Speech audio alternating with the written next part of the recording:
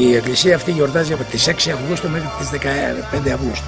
Και τα φίδια βγαίνουν αυτά από τις Ισλωτήρες, μεταμόρφωσης της Ισλωτήρες από τις 6 μέχρι τις 15. Και που βγαίνουν, βγαίνουν εδώ στον καμπαναριό της, σε έναν δρόμο που κατεβαίναν οι παλαιοί, σε ένα μονοπάτι, και εδώ στην απάνω μεριά της εκκλησίας.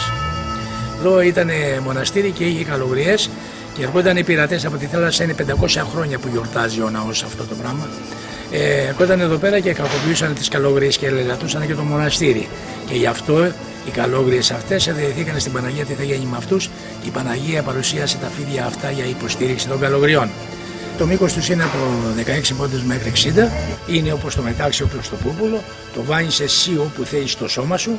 Αν έχουμε και πονάκια εμείς οι ηλικιωμένοι, περνάνε. Αλλά όμως πρέπει να πιστεύουμε ατράνταχτα στην Παναγία, στο Χριστό και στη θρησκεία μας. Υπήρχαν χρονιές που δεν βγήκανε πάλι τα φίδια αυτά. Το 1940 με το δεύτερο παγκόσμιο πόλεμο δεν βγήκανε. Το 1953 που έπεσε με το σεισμό έπεσε ο καμπαναριός και έπεσε και η εκκλησία εδώ πέρα εδώ δεν βγήκανε. Και το 1974 με το Κυπριακό πάλι δεν βγήκανε. Για μας όταν δεν βγουν τα φίδια αυτά είναι ένα σημάδι το οποίο περιμένουμε κάποιο κακό.